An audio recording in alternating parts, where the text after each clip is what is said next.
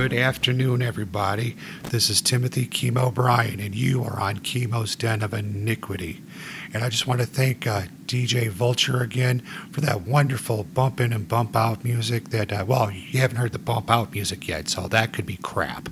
But the bump in music, fantastic as always, DJ Vulture. And remember, folks, we're setting up a Patreon account for DJ Vulture because he's uh, he's moved from the bathtub, and we've got him a full uh, fold out futon. I got an extra special guest because it's an extra special episode. So, folks, just for uh, just for uh, the sacred tradition here, a lot of times I talk to people that I've known for 20, 25 years. The longest person I've had on here so far, I've known for 27 years. This person can't say 20 years. And there was a little bit of time in between that uh, we uh, we didn't talk, not because we were mad at each other or anything like that, not because the fact that I owe him seventeen thousand three hundred and twelve dollars and eighteen cents, but just simply for the fact that we moved across the country from each other, and that's okay. I'd like to introduce you to my wonderful guest here. His name is Curt Cabot. Curt, are you here with us here this evening? Uh, yes, I am, Chemo. How's it going? It is fantastic, Curt. Um, as everyone knows, my uh, voice is uh, a little bit gravelly. It's getting better. It's getting better. It has nothing to do with them wrapping my uh, vocal cords around my ankle. Um, but it is getting a little bit better here. And Curt, your voice sounds fantastic. Where are you talking to us from tonight? I'm actually in uh, New Orleans right now. Oh my God, folks, he's in New Orleans. Watch out for him. Watch out for him. Nothing crazy going on down there, right? Uh, no, just crappy weather right now. Yeah, that's what happens. That's what happens. And if I know Curt, he's not down on Bourbon Street. He's uh, he's probably uh, curled up someplace near a jazz bar. Uh, well, actually, I, the other uh, day I just uh, got back from Frenchmen Street. Right now, I'm uh, just sipping some bourbon. Actually. well, that's what you got to do when you're in New Orleans. I'm just saying. Yeah. And if I remember right, they uh, they had a big football game there today didn't they? They did. They did. did. Didn't they win or something? Yeah, they did. Oh, and you know when they win too, because there's a party going on pretty much anywhere. There you. Well, it's New Orleans, so it's pretty much a party all the time. But especially when the Saints win, there you go. Oh, especially it's it's, it's ridiculous. Uh, they got a holiday for everything. It's awesome. There we go. There we go. Now, Curt, we've known each other, like I said, for a long time. We had a little time where we didn't talk to each other, uh, and you've forgiven that amount of money that I owe you. I owe you, right?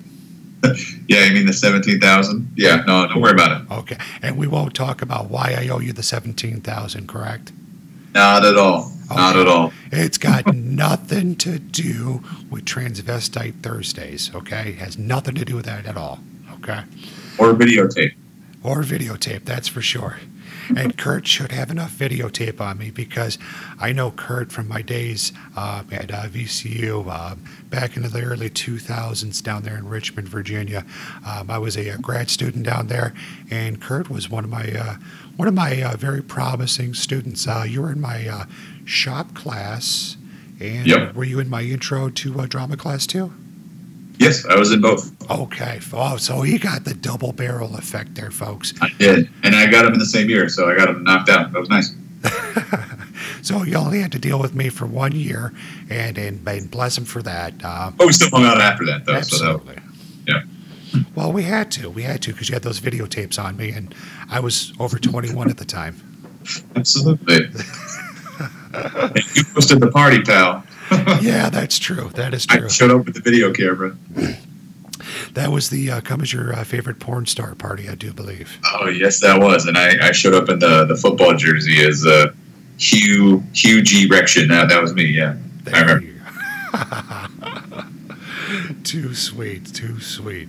Well, folks, those uh, those were those days are long gone. As you, as you can tell, Curt is uh, sitting in New Orleans. You know, having has uh, having some adult beverage, sitting back, enjoying his life. Um, married man. Yeah, he's a married man. I'm married with kids myself, and uh, and we've matured. We've aged like a fine whiskey, I'd say. Yeah, absolutely, bro. Absolutely. There we go. So, Curt, uh, started off in theater. Before I met you in college, uh, were you doing theater? Because I know for myself, I was doing theater in high school, all four years high school for myself. How about you? Theater, high school? Yes, absolutely. Um, actually, that's how I got my scholarship to VCU. Um, I went through the governor's school at uh, at VCU, and, and um, from high school, from my sophomore year, and then they said they would accept me for a, a scholarship, and I got a couple grand to show up and be a theater major there. Good deal. Good Yep. deal. So we're starting off with theater. Um, anything else at that time that you were into? Any painting? Any uh, musician? Being a musician? Anything else going on besides theater? I, I dabbled in everything really. Um, from, I mean, since I was, I would say five years old is when I started singing. I, I loved to sing ever since I was five. Um, but from there, I, I did acting. I, I went through theater up into uh, in Charlottesville, Virginia, actually, Albemarle Children's Theater, and then from singing to acting to you know Broadway type shows, and then I did a little bit of painting. Um, in high school. I had a couple classes in that and actually piqued my interest. So I stepped aside and I watched a couple Bob Ross episodes, I guess you could say, and then I tried to do something with that, but didn't go too far. But yeah, I've dabbled in a little bit of everything. And I've also I played quite a few instruments. I was in band from uh, I would say ten years old until I was twenty one. Nice, nice. So you bring up Bob Ross. Uh, I've had a uh, good podcasting friend of mine, uh, Kyle Bondo from uh, Merchants of Dirt, um, where he gets dirty a lot. It's a great podcast. Everyone should listen to it. Um, it's all about uh, uh, outdoor racing and all that kind of jazz.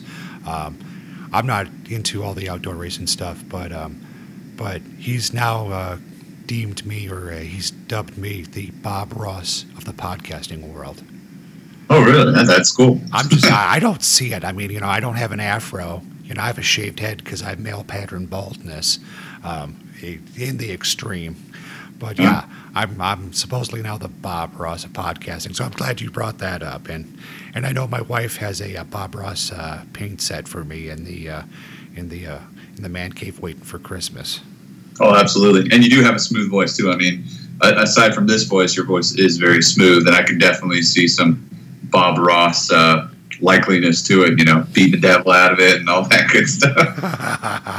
yeah, yeah. No, I Oh. definitely it. Well, yeah, that's what I do. And, you know, when I was teaching uh, classes, I was uh, trying to make sure that everyone was as calm, as relaxed as I was, uh, standing up in front of, oh, I don't know, 50, 70, uh, 18 year olds that didn't want to be there. Um, Oh, and, then, and, then, and then the three like yourself that did want to be there. No, we wanted to be there for sure. No, and I mean that talk though. You weren't Bob Ross back then. You were more of a, you, you were kind of a mix. You were more drill instructor ish. Uh, you were more projected with your voice actually, so it wasn't as soft and smooth as it is now. I guess you could say. It's, it's mellowed like a fine whiskey. There we go. Absolutely. You know what? I need to have a glass of whiskey sitting in front of me here, drinking with you. We, we, we just, I just need, uh, that's it. We're just going to go get me a glass of whiskey. Awesome. Any recommend, any recommendations for whiskey? Oh yeah, I mean, um, whiskey is just a. Whew. uh, do you have a recommendation? I could tell you. Uh, there's a nice uh, Scotch out there, which is called Oban, and it's a 18 year, which will uh, stay smooth until the ice melts into it and the water just absorbs. I mean, it's Oban's a very good whiskey for me.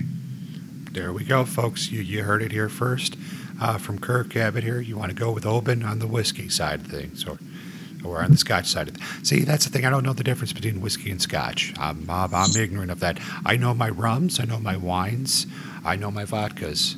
Uh, Mhm. But the whole scotch whiskey thing, I, uh, I know myself, I get very, um, very angry on whiskey. It doesn't relax me, it just makes me want to beat up the Pope.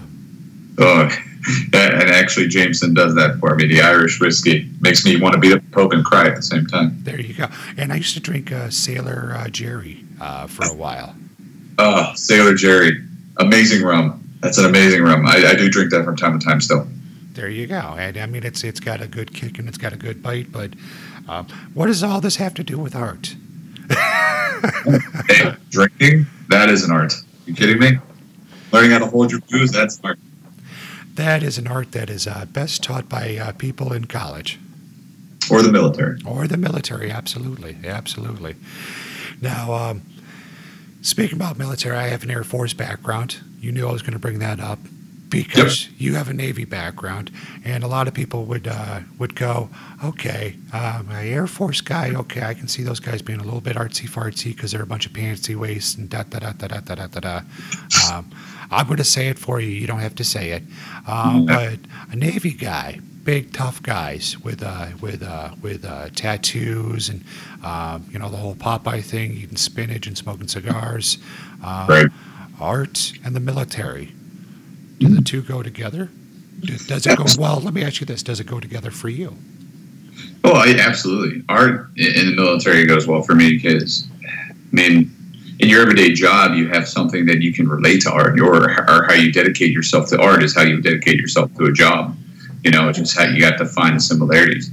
And for my job right now, I mean, I'm a flight engineer um, for a C-130, and just learning that pre-flight and knowing the pattern and getting your own, um, you know, like a pattern. You get your own philosophy down to your the way you were trained. I mean, that's an art form, and people look at you. I mean, I'm supposed to be the all-knowing person of the aircraft. I'm the systems expert, you know, and I'm supposed to be the person to tell the pilots, "Hey, sir, this is what this light means, or this is what this means." So, it, I do relate art to the military, absolutely. And with that, I mean, with your acting background um, and having to you know memorize a play, memorize the lines, memorize the stage directions um, that mm-hmm. come with a play. And um, we were talking in our uh, pre-show here. Um, you've done, you've been in the uh, film world, um, and you got to you got to you got to have a great memory uh, to be an actor. Myself, I don't. Have, I've never had a fantastic memory. It could be due to all the pot that I used to smoke, um, and you know all the other stuff that I oh, used oh, to. That could help actually. that could help. I don't know. I I wouldn't know about that, and I know you don't know anything about that either. But um, but the uh, the uh, the good memory that you have to have for that, being a C-130 mechanic myself in the Air Force and I mm-hmm. got to say that the Navy doesn't have C 130s. They have planes that look like a C 130, but the engines are on upside down. Okay. Yeah, whatever. They're on right.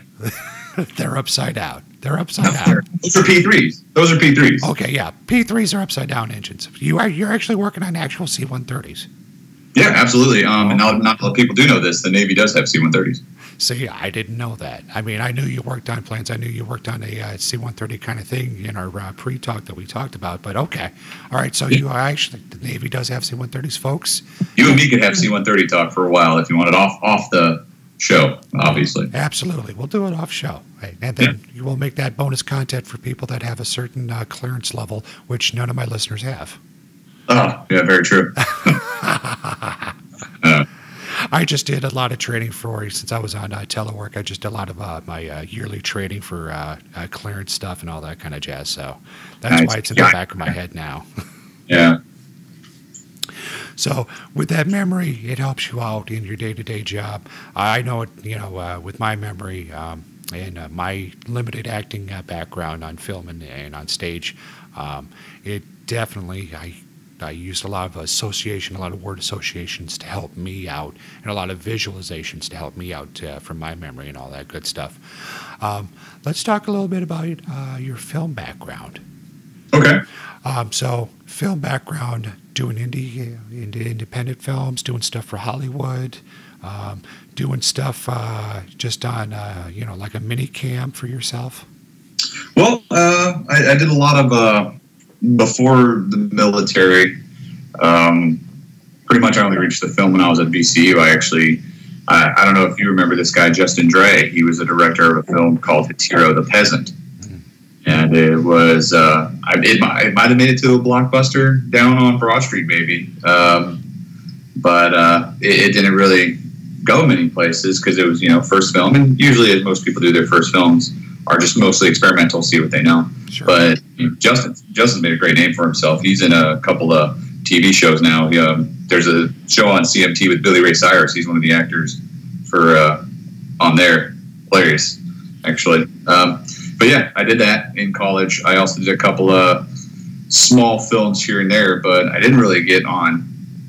I didn't really get on any film since I joined the military, but I've been on TV a lot. Uh, in the military, you get. Um, I was a liaison in California. Obviously, California's, you know, best place. oh yeah, absolutely. You can't walk. You can't swing a dead cat and not get hit by a camera. Absolutely, and then, then there's a couple of positions over on our base that were PAOs or public affairs officers, and they would deal with 24, uh, Saving Grace, NCIS, a whole bunch of shows that would come on the base to do their filming. And uh, I did a lot of filming with, uh, I guess, JAG, Saving Grace, and NCIS. I was their liaison for my command, so I would be wouldn't necessarily have many speaking roles, but I would have I'd be in a lot. I mean, you could see me on uh, NCIS a lot, or you'd see me on a couple episodes 24. Good deal. Good deal. I actually, uh, in my day to day job, I'm a transition coordinator um, for the Army. And um, see, whereas you deal with NCIS, the TV show, Mhm. I deal with the real NCIS down at Quantico. Yeah, and yeah. let, let me tell you, there's nobody down there at Quantico that looks like anybody on the TV show. Nobody. I've, I've been down there. Now, it just doesn't happen. yeah. Gibbs is actually 70 pounds heavier. Yeah. yeah. And the uh, girl with the, uh, what's her face, with the uh, the black pigtails and all that kind of stuff. Rita Pablo, her name's Ziva. Oh no, no, you're talking about the. Oh, okay, yeah, yeah. You're you're talking about. Um, I can't remember right now. Yeah, the goth, the goth chick. I mean, we'll put it. We'll, yeah. Abby, Abby. Abby, that's it. We'll put it in the show notes, folks. Um, we'll have great pictures of Abby in the show notes, and that's all that you're going to look at in the show notes. I guarantee it. But Fun fact: that Abby's older than she looks. yeah, and she's uh, isn't she like a vegan, vegetarian kind of gal? She is. She's like a vegan deal, and uh, she came down um, to one of our filmings actually. Nice. And uh, it was it was pretty cool. The, the whole cast actually came down for one of them, and then after that, we usually just worked with Ziva, uh, Gibbs, and at the point in time, it was DiNozzo, Michael Weatherly. And see, folks, here's the thing um, with Curt and his job. Okay, his job is, you know, he's a grease monkey. Well, not quite a grease, mon- grease monkey. A flight engineer is not. Uh, I was a grease monkey. I was, a, you know, a mechanic, so I got dirty all the time. You're kind of a grease monkey, though, too, right? I do No, when we break on the road, I gotta I gotta fix the plane. It's my job to fix the plane. So Okay. All right. Yeah. Wait, you guys don't have crew chiefs to do that? No, I'm a flight engineer. I'm technically the crew chief as well. Um, Oh my so God. chiefs, we have flight engineers. So not only do we babysit the pilots, we also make sure that uh, we got to fix the plane whenever it's down. Dude, I failed you. I, I failed you as a as a as a teacher, as a mentor, as a friend. I Why would you say You that? know, because I, I should have got you into the Air Force because we have crew chiefs that handle all that stuff. Our flight engineers were Mhm. treated like pilots. I mean, yeah, they were they were they were enlisted, but they were treated like pilots. They they never got their fingernails dirty. I never saw a flight engineer on one of my 130s have dirty fingernails. No, if, uh, if we get a prop oil line, I'm servicing that engine, man. If we get a tire change, I'm changing that tire. Well, see, and so yes, you are a grease monkey, and with your acting background, I'm sure it gave you the chops to be a PAO, and um, to be able to uh, talk with these actors. Because a lot of people they get starstruck. You know, you you get a, uh, a, a actor in front of you that's you know nationally known or internationally known, and a lot of people are just going to freeze up and go blah. But you, I'm sure, you you know jibber jabbered with them, talked. Uh, about a bunch of stuff with them and didn't have a real issue with that at all, right? Oh no, not at all. Not when we were working together. Obviously, uh, there's different situations. Like you go on USO tours and you just get to say hi to somebody right quick. I mean, you know that you get to say hi to one of your guys. Like, oh, I had no idea they were coming. You shake their hand, but you can't really talk because you wanted to say so many things. That's one thing. But if you're working with them and you know you got to work with them, you, you may have two or three seconds of a stutter, but as soon as you guys just start talking, it's it's smooth sailing from there. There you go. Um, Yeah. My biggest one is I met Charlton Heston in Mombasa, Kenya. I, I don't know if I, uh, No, you didn't talk that. you know, I, sh- I should have talked about that when I was in college with you. So I was uh, stuck in Mombasa, Kenya. Uh, well, eh, stuck is a relative term. Uh, we were flying in and out of Somalia every day. But uh, we were in Mombasa, Kenya in 1992, 93. Mhm. And uh, I was uh, marshaling. They told me it was like 3 in the morning. I had to marshal in a uh, 130 coming on in. So I'm marshaling in this plane. Basically, I'm, you know, those glow in the dark wands. I'm uh, directing how to bring a plane in, and um, and you know, parking it and all that kind of jazz. All right. So guy pops out, and usually it's an officer. So you, you know, I'm enlisted. Got to salute the officer. Dun dun dun dun dun. dun. No, it's Charlton motherfucking Heston. That's awesome. And he pops up to me and goes, Where's the latrine?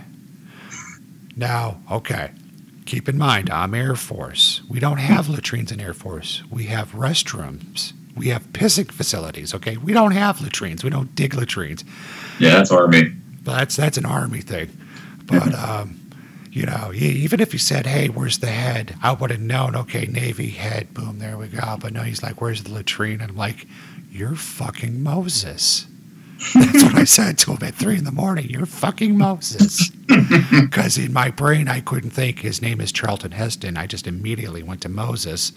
Yeah. And uh, I directed him to where our uh, restroom was and our 24 hour 7 Eleven that we operated, we owned, you know, our AFI store, which is Yeah. basically our 7 Eleven. And uh, I directed him to, the, to that. Um, you know, I go back in after we get the uh, plane knocked out. After I'm done shaking in my boots, going, "Holy fuck!" I just met Charlton Heston, and uh, I go in the AFI store, and there he is, you know, having a candy bar and a coffee, and I'm just like, "Hey, sir, how you doing? Da da da da da. Welcome to Mombasa, Kenya." So that's that's my oh my god story for the Air Force. Cool. that's awesome. Do you have an oh my god story for the Navy? I I do. Uh, let me. Can you talk about it? oh yeah, absolutely. okay, all right.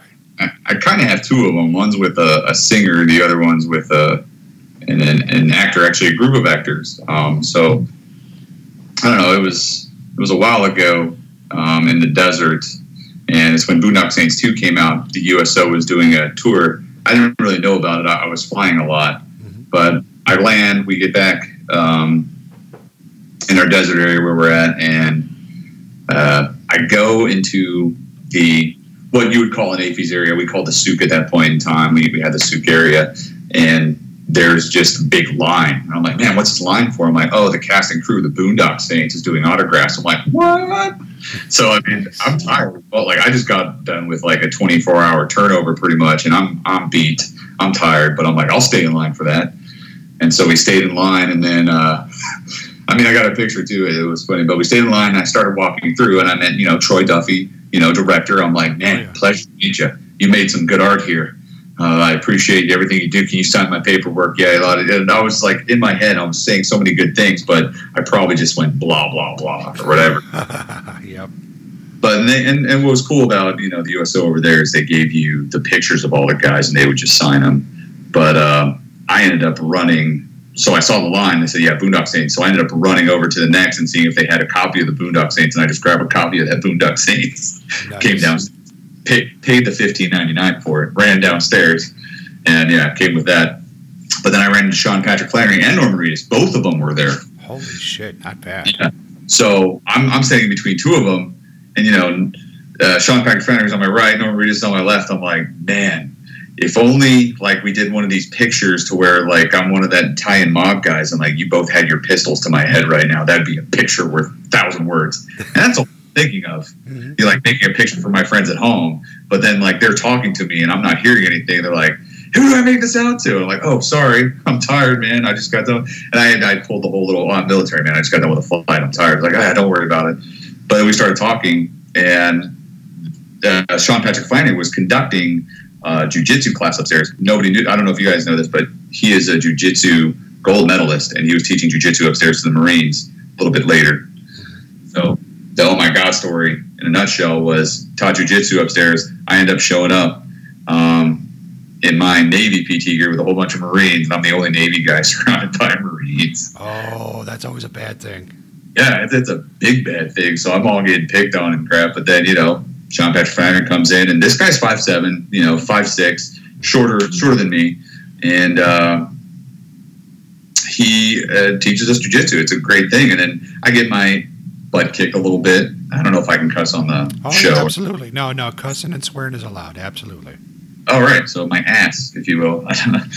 so I, I, I got my ass handed to me a little bit, and I stepped aside, and then I'm just BSing with Norman Reedus, and he was telling me about his show that he's got coming up, and this is before anything. He's like, "Oh yeah, I'm just doing this uh, show that I just got picked up, and it's got zombies in it and everything, yada yada, and uh, it's coming out soon. So uh, just look out for that." I'm like, "All right, cool." And we were him talking, and uh, we ended up shooting the crap, and then there's another side actor who was Boondock Saints. I mean, I'm chilling with all these Boondock Saints guys, and that, that was my oh my god moment. Uh, moment, but in a nutshell, like what came down to that was, I don't know. Two years later, I ended up seeing this little.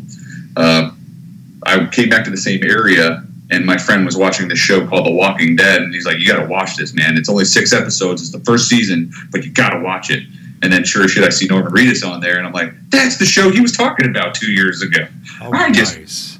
yeah, it was like, holy crap. So that's an oh my god moment. Another oh my god moment is running into Toby Keith at three in the morning, and then him coming playing beer pong with us because he couldn't sleep. But that, nice. So- yeah, that, that's that's a different, yeah, I guess different story for a different time. There we go. That'll Yeah. be for the uh, special subscribers that uh, pay you and me a whole lot of money. Oh, absolutely, that'd be nice. And remember, folks, we got that Patreon account for uh, DJ Vulture, uh, so that way he can get actual fold-out bed. We're actually going to be funneling part of that money into uh, the uh, Toby Keith story, so we'll make sure that that happens for you folks. Oh, 100 percent. Curt gets uh, 40% of that money. I get 60%. So just because it's a finder's fee. That's a deal. And I used to be his instructor in college, so you know I I, I got to make more money off of him. Yeah, yeah, you did. Uh, Little little did he know, twenty years later. yeah. Good deal. Well, Kurt, um, what are you doing these days in terms of your art? Uh, how are you applying? You know the because it sounds like you've learned a lot of lessons uh, in theater, uh, in music, in film, um, and, and that whole realm. How are you applying that uh, to, today- to today in your job? Well, applying art in my job is is you know a hand in hand thing for me. Um, Hey, Dan, I'm going to back you up just a second. It doesn't necessarily have to be your job in your entire life. How, how are you incorporating art in your life too? sure. Um, well, not only my job, but in my life. Um, I, I I've taken a in this last year. I've taken a step back in terms of not really doing.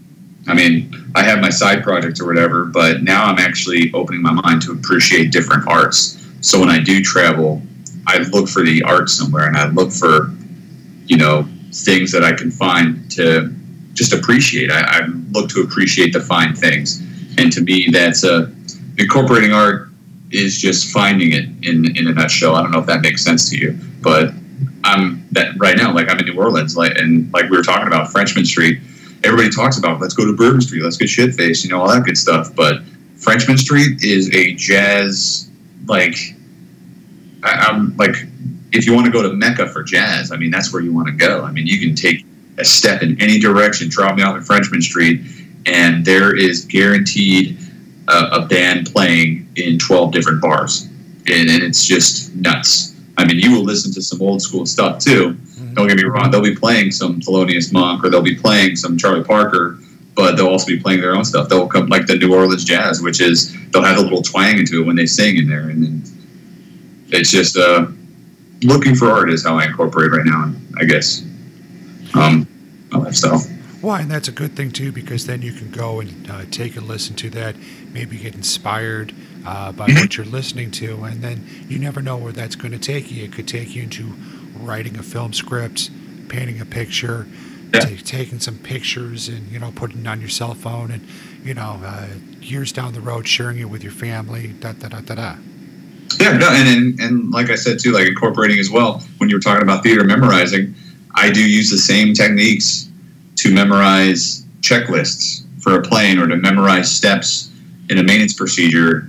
Obviously, read the book, but you know, if I have the book to my side and I want to memorize the next three steps, I'll go look at it later. But I use the same techniques that I did in acting, and then throwing out plans, doing something on the side without work.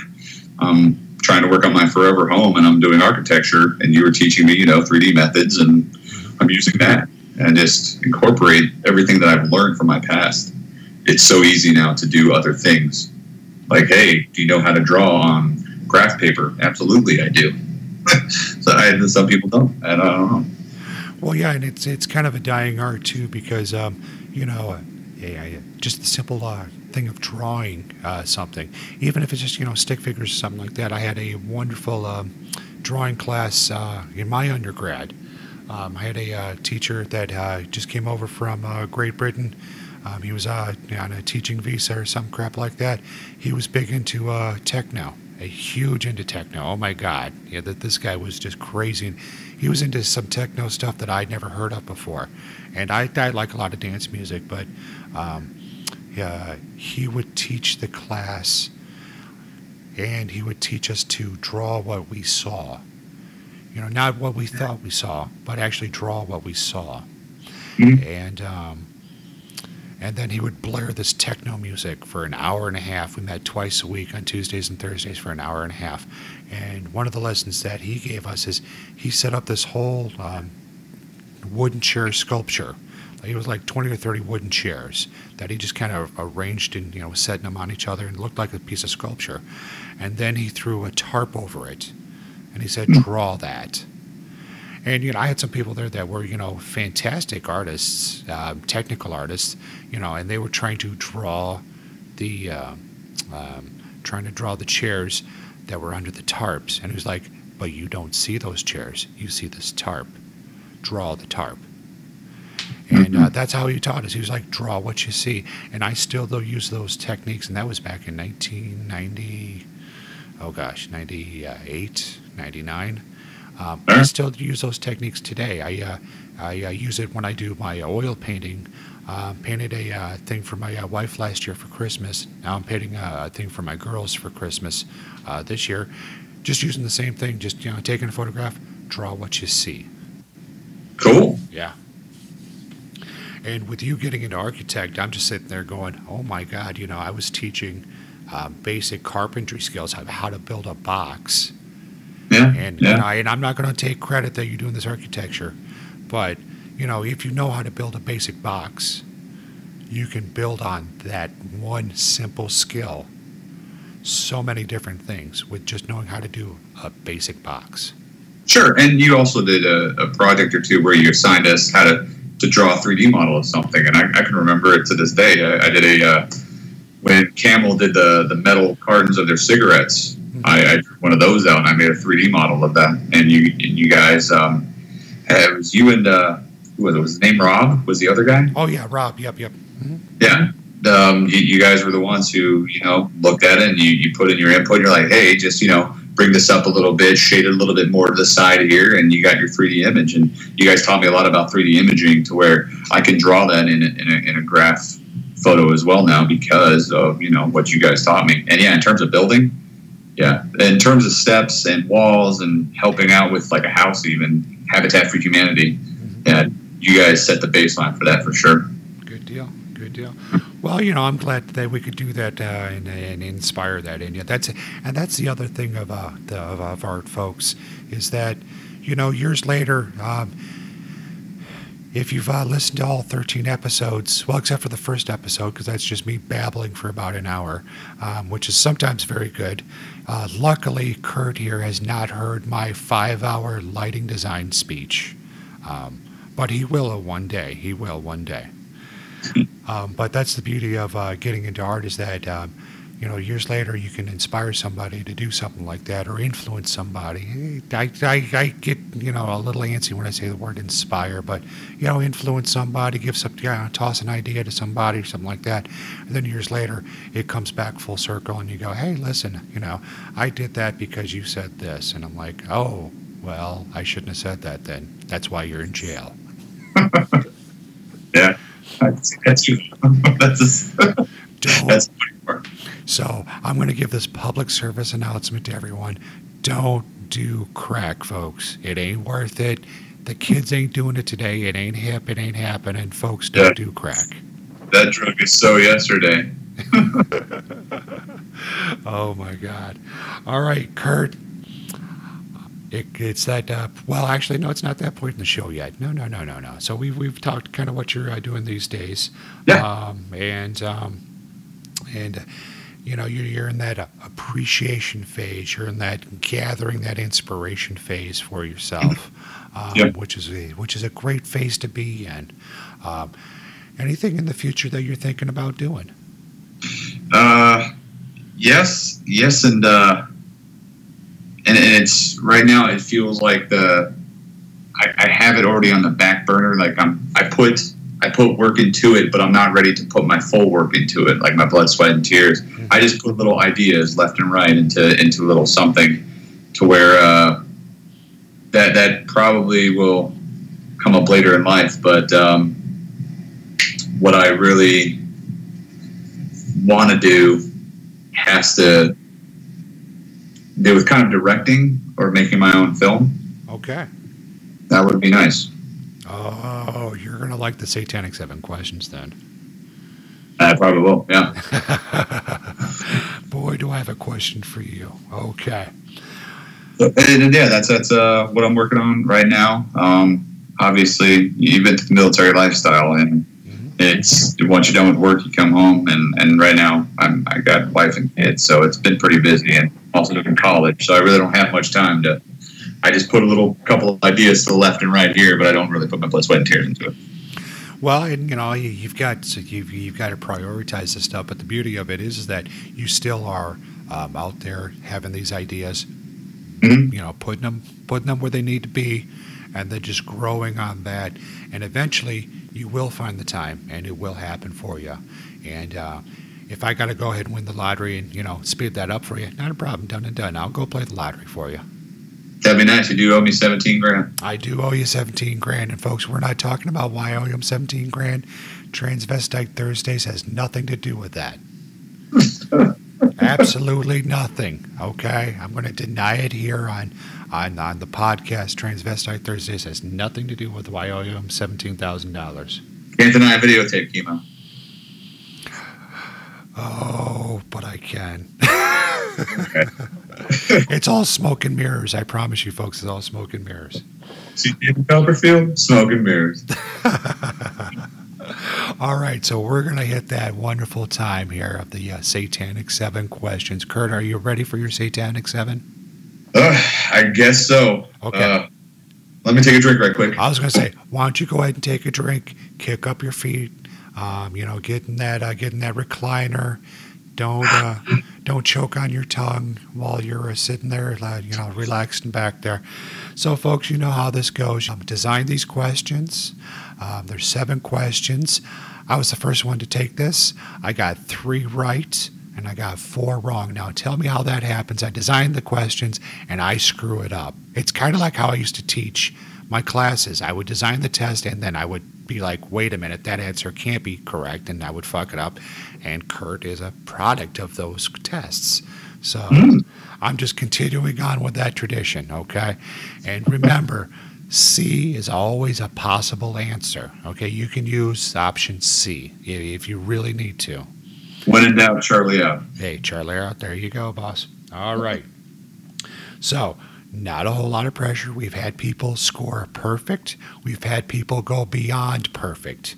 Um, these questions, uh, I, I determined the points uh, through the Twitter feed, and uh, we determined, you know, if you got it right or not. You can appeal. You can appeal my decision, Okay.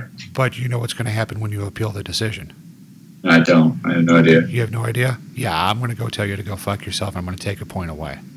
Oh, fair enough. But Okay. you, you, you do have the option to appeal if you really want to. Well, I guess I don't anymore. Well, no, you have that option.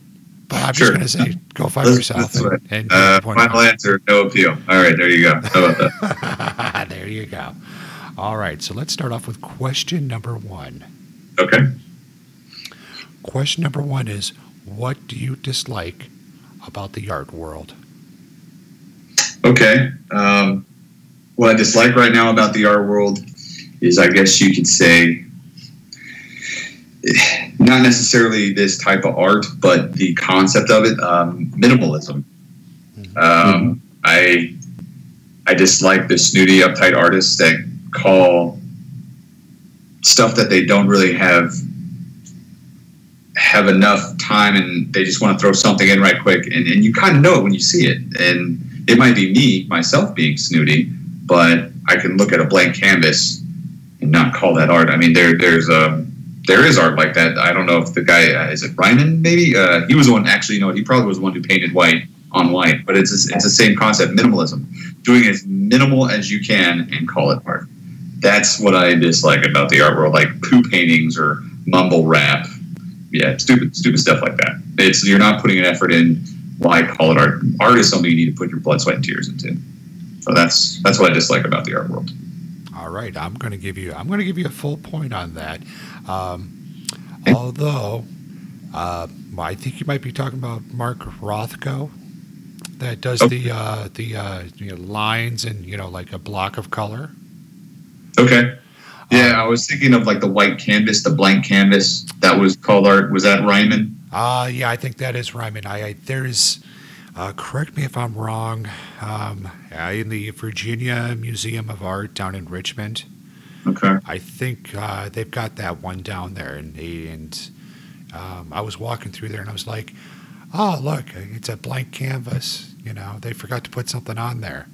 And I was like, oh no, no, it's actually somebody just put white paint on a you know on a blank canvas, and I'm like, oh what the fuck is that? I feel cheated. So. Yeah. And, and that's what I kind of feel too. It's like you're not putting your effort into it. And then, I don't know, there's some art today, like, uh, I don't know if you saw this, a woman was making a sweater out of uh, her menstrual cycle. She was using her blood as, uh, uh, never mind. Now that takes some work, man. That takes you know that takes months and months and months of work. well, yeah, what females go through is like, you know, horrendous. And I give them props for that. But using that to your advantage to make your sweater and call it art, come on now. That's just trying to reach for extra gold there. Come on now. That's All like me picking a booger and put it under the table. It takes me a little bit of time to produce a booger. Booger art? No. You got the point. You got the point. I, I Oh, most I mostly agree with you. I mostly Okay. agree with you. Um, and, and the big point that I agree with you on is putting your blood, sweat, and tears in it, putting some thought into it, and Yeah. then and then letting me know what the fuck this is. Okay. Um, Sure. If it's going to be minimalism, if it's going to, you know, if it's break it down to me like I'm a four year old. Let me know what's going on here. Let me know Yeah. what I'm looking at. Okay. All right. No, you got the point. I'll give that to you. Okay, you got one right. You, Okay, you, you need to get So far, so good. One for one. All right. you need to get two more to tie me, and then Okay. three to beat me. Okay. okay. Fair enough. Now keep in mind, I'm scoring this, so Sure, sure. And no one and no one has gotten lower than I got. So Oh, that's uh, well. That- Prepare to be amazed, good sir. oh, he's going straight for the toilet, folks. Going for gold. Okay. Uh, so question number two is going to be along the same lines as your answer to question number one. Okay. Can art be defined for everyone? And the second part of it is, should art be defined for everyone? Okay. Um, today's world, art can be defined, but at the same time, as of right now, with the politics that are going on, I don't. It, it's tough. I don't feel like a lot of things can be defined right now anymore. Um, if we can't even define patriotism at a certain point in time without you know somebody getting in a ruck, it's you know religion, race, gender these days. But we can't define. Hey, I'm gender neutral. I'm this neutral. I'm this neutral. I mean, how can you define art if everybody's saying you know they, they don't have their own definition for what everything everybody's opening up their own concepts. I guess you could say they're making their own art with what they're doing right now but um, to each their own in terms of defining an art for some person a direct person hey what you feel you're good at? Pursue that. Define that art. But as of right now should it be defined for everybody? Not in this day and age. It can't. It can't I'm going to give you a point on that because I agree with you because there is so many, um, and this is something that I was taught a lot in um, at VCU in grad school, and something that never sat right with me is you know all these different lenses with which to view art. Mhm. Um, and I mean, if you really break it down to brass tacks, um, there's seven billion people on the planet, so there's seven billion lenses, and you know everyone's got their own story on how they view things. And if we can't have a common language on which to that we all agree on, Yeah. um, then it's going to be difficult to uh, define art. Now, I, I personally like. Okay, so when I go see theater, and I don't know if this is the same with you or not, When I Okay. go see theater, I- I'm a horrible person to go see theater with. I'm horrible because I will I will sit there with a pen and paper and critique the lighting. I'll critique the director's choices. I will tell you what's going to happen next. If you're sitting next to me, I'll be like, okay, so this guy's going to do, and I, I don't even have to read the play. Like, I Okay. can just kind of go, okay, this is going to happen next. You're going to get a shaft of light over here. It's probably going to be this color because of um, the uh, the uh, the uh, costuming and da da da da da. So, kind of going to see a show for me, um, Mhm. the magic of it, the magic of the theater is I don't want to say it's gone, but it's something I that I struggle with. Now, when I go see a movie, and I just recently saw um, um, the uh, the uh, Star Wars movie, uh, The Last Jedi. Don't ruin it. I'm not going to ruin it. I'm not going to ruin it here. There's no spoilers here. But I'm just going to say that the magic of movie making, I don't know how they did half the shit they did. I don't know how they did three quarters of the shit they did. I know intellectually I'm being uh, manipulated to look here, to look there, to feel this with the music, to feel that with the music. But that's Sure. still magical to me. And I don't want, I mean, I've acted in film before, um, mostly, you know, little, little independent films and all that kind of stuff. You're not going to see me on the big screen um, or on the TV too much, um, except for Transvestite Thursdays.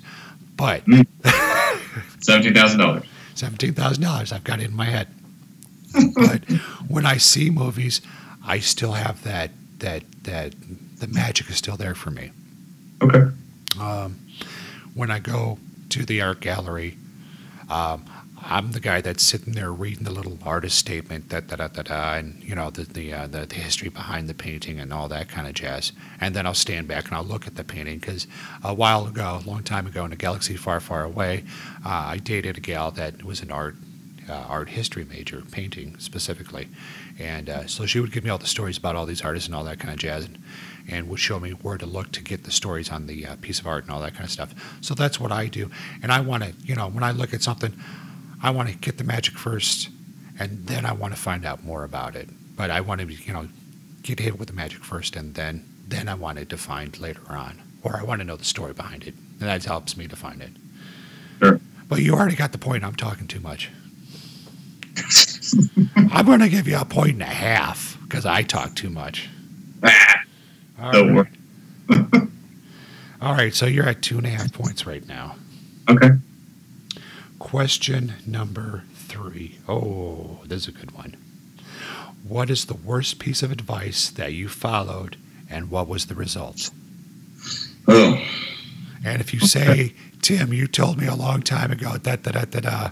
no, no, no. Um, I don't know if this applies with the artistic world too much, but uh, what comes ahead comes to the mind is that the worst piece of advice I ever had, which has bit me in the butt the most, is how to get over a relationship.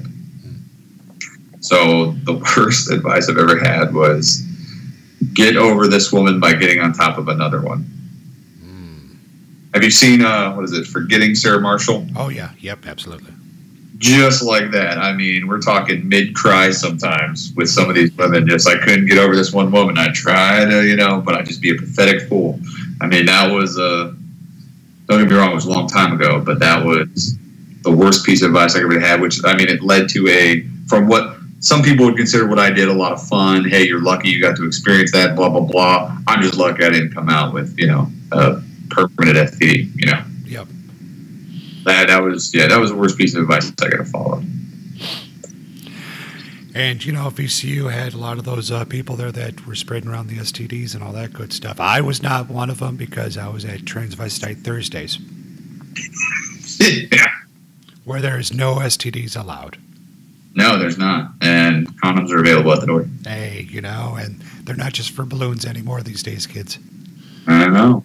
There you go. So I'm going to give you a point on that one. So you're at three and a half. You've beaten me now. You have, you, young grasshopper, have beaten the master. But you can still give me a negative point. So I, I'm- yeah, I'm just, I'm waiting for you to appeal. I'm just waiting. All right. So question number four. Oh, this is a tough one. Oh God, this is the one that you're going to get wrong. okay. Okay. If you throw yourself at the ground and miss, what Mhm. are you doing, and how do you continue to accomplish this seemingly impossible task? I could totally go full a hole and like miss. I never miss. Hold my beer. Watch this. There's my answer. Final answer. That's your answer? Hold my beer, I never miss. Hold my, oh, oh no! If I'm throwing myself to the ground and I, I constantly miss, um, I'm keeping my eyes crossed and uh, it's yeah. this is a tough one. This is a tough one. I, Yeah, I can do, I can, obviously I never miss, or I can go. I'm not using my right hand, and I'm not following the physics of throwing myself. And how do I complete it? I don't know. Take a physics course in college. I don't know. Okay, no, I, I can't do. I'm trying to give you a point on this one. I can't do that. No, no, no. Uh, Yeah. No point on that one. No. point. So right. you're at three and a half, though. You're still at three and a half. No But I won't miss though. That's that's that's my point. I'm never gonna miss that. Okay, You want me to throw myself to the ground? and miss. I want you to throw yourself to the ground and miss. No. No. Okay. All right. Do you want to know what the answer? Yeah. Hitchhiker's Guide to the Galaxy. Oh. If you're throwing yourself at the ground and missing, you're flying. And how do you keep on doing it? You just don't. You just don't pay attention to the fact that you're flying. Man. Which is also throwing I've only seen that movie once. That kicked me in the butt right there. Throwing myself at the ground and missing is the title of my first uh, published book of poetry as well. Oh. Curt, Curt. I'm I- sorry, man. Have I taught Dave- you nothing? Days at the Village Cafe. Uh, I mean, they're they're few and far between, man. Ah, the village. Yeah. I'm going to give you a quarter point on that for bringing up the village.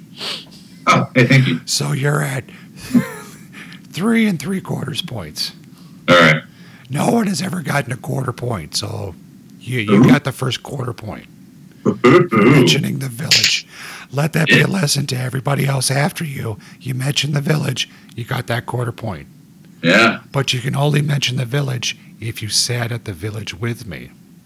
absolutely. That's the only way you can mention it. So if you didn't sit at the village with me, I'm gonna I'm gonna I'm gonna rub you I'm gonna rub you out on national podcast uh, radio here. All right. Promise. Absolutely, baby. All right. That's that, that's where that seventeen thousand dollars is going. All right. So we're at three and three quarters points. You got four questions knocked out. Let's do Okay. question number five. All right. Let's see here. Yep. He, he's breathing, folks. He's breathing heavy. I know these are some tough questions. All right. What is the question you are always asked that you dislike, and why do you hate that question? Um, I would say if I can go back in time, would I change anything? That would be the question. Hey, if you go back in time, would you change anything? Um, first of all, that could be a loaded question. I mean, especially if you um, if you're around certain people. Mhm. Like you go back in time, like say somebody asked me that question, I'm in front of my wife. If I go back in time and fix anything, well, you were with me back. then. You know, it's a loaded question right there. Yeah. But at the same point in time, um, it puts you on an ongoing thought process of like how many times in the past have you just fucked up, you know, and or at least you think you did, and then turns to a full day event where you end up, you know, you kind of question your life. Yep. you, you like you throughout the day, you're just like, hey man, uh, what have I been doing this whole fucking time? And then thankfully now I have a wife and kid who, uh, or I mean, I would probably be pretty miserable if I if I didn't have if I didn't have a wife and kid right now. If somebody asked me that question. Gotcha. Yep. if, if you go back in time and change something, what would it be? I didn't have a wife and kid. I'm like, I'd probably be thinking throughout the day, eh, I peaked. gotcha. Yeah, I, I guess that'd be the question that I don't like. Okay. No, I'm going to give you the point on that. So you're at four and three quarters points. Absolutely. Oh. Yeah. I mean, you know, it, would you change anything? Well, the way I view it is, you know, we're here for a certain amount of time. Okay. Mhm. I don't have time for regret. I'm too busy living right here, right now. I mean, I got twin girls that are, you know, two floors above me. I, yeah, I have not a whole lot of time to think about the future. I do here and there, but um, I try to stay right here, right now in the moment because, you know, in five minutes, both of them can be up and screaming their heads off, and I got to get upstairs and you know calm them down and all that kind of jazz. Or you know we could get you know nailed by uh, the North Koreans with a nuke uh, next week. What can I do about that? Not a damn thing. Can't do anything. Yeah. And if I look back on my life, did I do a lot of fuck ups? Yeah. But I also did a lot of cool ass shit. And Mhm. if I didn't do those fuck ups, the thing I would regret is did I learn from those fuck ups? And the answer is sitting here today, yeah, I've like from all my fuck ups, I have definitely learned from all my fuck ups. Um, And I, and I want to be in that person on my deathbed who doesn't have that last thought saying, "Oh man, I wish I did this." right. You, you don't want to be that guy. No. Well, and then something that uh, that you've brought me into, uh, again, the student teaching the master. I'm not a master by any by any stretch of the imagination, but um, uh, something that you brought me into is uh, a wonderful podcast and a wonderful face group, uh, Order of Man, which you know I'm reading some books on that kind of stuff now, and you know it, a lot of the things. And I also listen to Art of Manliness, which is a fantastic podcast. Yeah, I've heard about that one. I'm actually going to go into that. You definitely should. Everyone, you know, everyone definitely should. Um, you know, check those out. You know, all the guys, you know, the women, they have their own stuff, and that's fantastic. This is for the guys, um, and as as well it should be. Um, Mhm. And it's you know teaching us how to be better men, and um, and a lot of a lot of what I'm seeing in there is like you know you need to live right here, right now in the moment. You need you need to go and take charge of the situation. Otherwise, the situation will take charge of you. And what kind of life is that? You know, you can always you can be proactive or reactive. And with Yeah. the, with the job that I do, the lives that are entrusted to me, I need to be proactive. I don't have time to be reactive. So, Yeah, and that, that in terms like determines the rest of your day as well. Being proactive rather than reactive. I mean, that's not a really good way of leadership either. You know, you're a better leader if you're proactive. Absolutely, absolutely. That's why I'm Air Force and I work for the Army because they want to hire the best. Absolutely, I agree. on, we'll both agree on that one. Okay, so we've got six questions knocked out. Uh, I'm sorry, we've got five questions knocked out. You're at four and three quarters. The sixth question, this is the one that you're going to like. This is the one that you're going to like. I think you got this one, but this one is tricky. So, All right. what is the airspeed velocity of an unladen swallow? And if possible, show your work. All right. First of all, what do you mean? An African or a European swallow? Canadian. What oh. what show do you think you're on here? Canadian, of course. All right. Well, you know, in order to maintain an airspeed velocity, a swallow needs to beat his wings 43 times every second, right? Are you sure? Right? Are you sure it's 43 and not 42? I think it's 43, maybe 42. Uh, I'll have to go back to video on that one. I think it's 43. Okay. Am I right? And I don't know. We can go into that. Um, So Yeah. so far you're correct. yeah, I, and I can't really go too much farther into that. That's as far as I remembered. But if, if you could only play the troll, and then af- after I asked you African or European, you're like, I don't know. Okay. fall that would answer the question. then I will answer. I will ask the question again, and I will play the part of the troll. Awesome. What is the airspeed of an unladen swallow? Uh, what do you mean? An African or a European swallow? Oh, I don't know that. Ah! there you go. All right. You get the point. What the hell? What the hell? I'm feeling generous to you tonight. Oh, thank you. So you're at five and three quarters points. Yes. This is amazing. All right. La- last question. You can fuck up this question. You could Well, you, you can give me as many questions as you want, Chemo. I mean, I'm, I'm here. Um, I got to work tomorrow just like you, but I mean, I'm having fun. So whatever you want to do. Well, I, I got to be up at four in the morning, so All right. I would Fair love, I would love to ask you questions all night long. Unfortunately, the, All Ar- right. the, I do more before the army does in, in, at 9 a.m. than the army does all day. So All right. Hey, touche. I, I, I fucked that one up, but that's okay. That's why we have editing uh, tools afterwards. Oh, yeah. all right. So here's question number seven. Okay. If money is no object and if time were no concern, if resources were unlimited, what project would you attempt? And the second part of that is, uh, with all negative factors being eliminated, would you allow this to be the only work that you are known by? So basically, I'm waving my magic wand and saying, whatever you want to do, boom, you can do it. Mm-hmm. And then the second part of that question is um, that project that you're doing, is that the only thing that you're known by, or is that just one of the many things that you're known by? Go. Okay. Ooh. Okay. So this is actually this is a big question. I actually have a lot of ideas and a lot of things that I've put to the wayward, like we talked about before. Um, one of them is uh, has to do with uh, the the wonderful, the very talented Tom Hanks.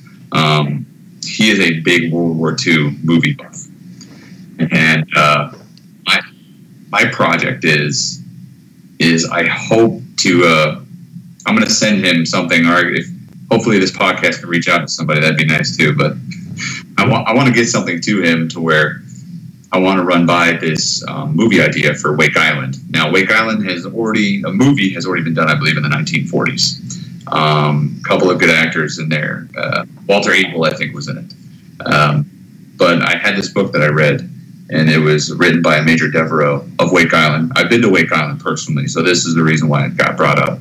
Um, we flew in there; it was beautiful. I read it and I'm like, man, there needs to be a movie about this. And I looked up, turns out there was, but it was the 1940s. But then everybody's remaking movies. And then I went to the World War II Museum. Tom Hanks is very in depth in World War II.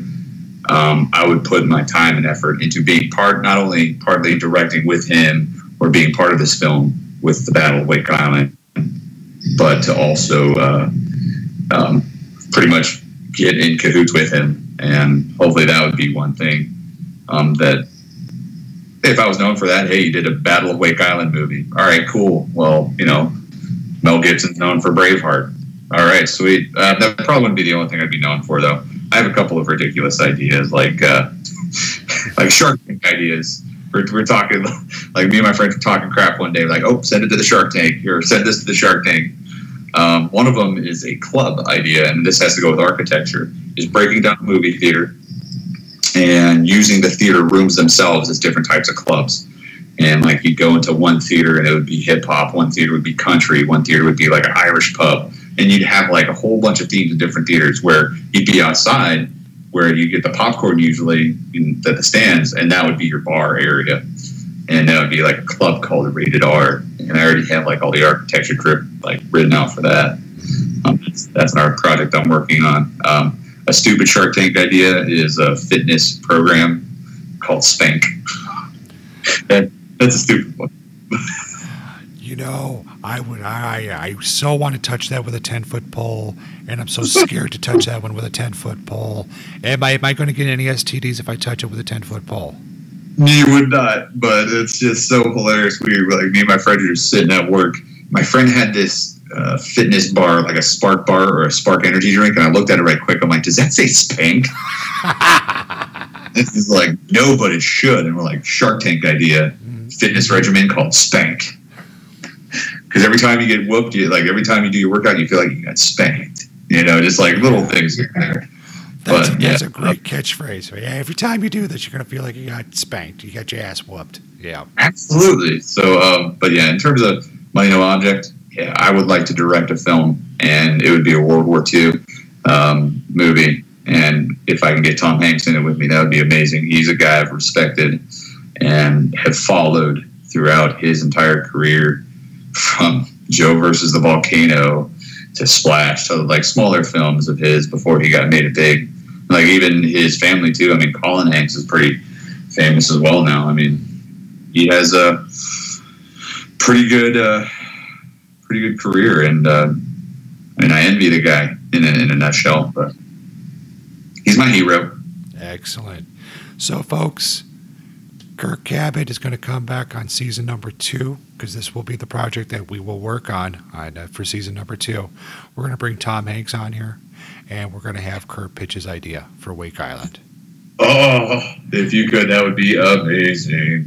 Now, if I can't get Tom Hanks I can get the guy by the name of Tom or a guy by the last name of Hanks, and we'll get him in here, and that way Curt can uh, pitch the. Or we'll get two guys, one named Tom, one last name Hanks, and then boom, Curt will pitch yeah. it. Well, for a for a sweet settle idea too. So I've already put some of these to the side. I have a book written by the Major Devereux it's himself, and it has the Wake Island stamp from the date I was there, and I have a Zippo that has Wake Island engraved on it that I could send to Mr. Hanks. That would be like an incentive to hey, hear me out, you know. All right. So if anyone has connections with Tom Hanks, and I know at least one of my listeners do, because it's like that whole seven, uh, the, the uh, separation of uh, the seven daily whoppers of Kevin Bacon. Oh, six degrees of Kevin Bacon. Six oh, degrees of Kevin Bacon. So Tom Hanks is, I know, in that six degrees of Kevin Bacon. So mm. well, I, we know somebody that knows somebody that knows Tom Hanks, and we can get this knocked out. Not a problem. Too easy. We'll, we'll awesome. definitely bring you on season number two, and we'll see where we're at on that. Oh, cool. All right. Fantastic. Curt, is there any uh, final thoughts that you'd like to uh, toss at our uh, listeners here about creating more than you consume, uh, doing art, how it impacts your life? Uh, sure. Um, don't take on too much at once. A, a lot of people out there, this is a new world of multitasking where you're not worth anything unless you can do five things at once. If you have a project and you really want to get it done, focus on that project. Don't don't get sidetracked. If dedicate your time, dedicate your effort, and do everything and put your heart and soul into that one project without getting distracted by any outside any outside objects at all. That would be my only word of advice when it came to the artistic world to this day. All right, fantastic, folks. You heard it here first from Curt. Take that project, put your heart and soul into it, focus on that project, knock it out of the ballpark. Curt, I definitely want to thank you for uh, being here with us this evening. I want to thank you for taking uh, taking out uh, some time from your busy life, uh, sharing with us some uh, wonderful uh, stories, some wonderful whiskey there as you're kicked back and perched, ready to go down there in New Orleans. Thank you so much, Curt. Hey, Kimo, thank you very much, brother. I appreciate it, man. Anytime. And folks, you can hear us every other Saturday at bright and early, 7 in the morning. You can get that podcast first before anybody else. Or if you're like a lot of people, um, just go ahead and subscribe on iTunes or one of the other uh, podcast uh, um, catchers that you can uh, that you're using out there. We're on the, we're on Stitcher. We're on hey we're on the Twitter. Oh my God, I'm fucking old. We're on the Twitter. Uh, we have our Facebook page. Um, we've got Spreaker. Uh, we just added on uh, iHeartRadio. We're going to be on Spotify as well. So by the time you hear this podcast, we're going to be all over the planet, folks. So you have no excuse. Subscribe, throw a rating on there. One star, five stars, doesn't matter to me. Just makes me work that much harder for you. And then we're going to have uh, DJ Vulture go ahead knock out our bump out music. We'll see you in two weeks. Have a great time.